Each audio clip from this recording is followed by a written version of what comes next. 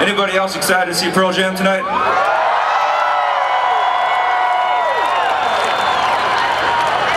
Me too. I'm just so excited I can't stand it, and I want to I want to break the ice and bring out one of the members a little bit early. I don't think they'll.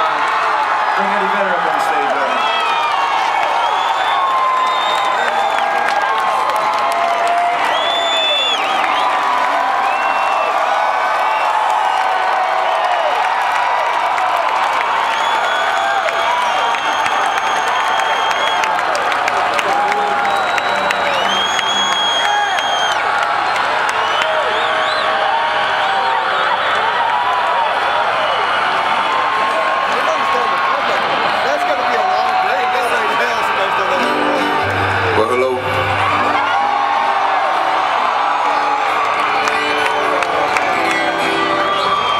Just a little more of this.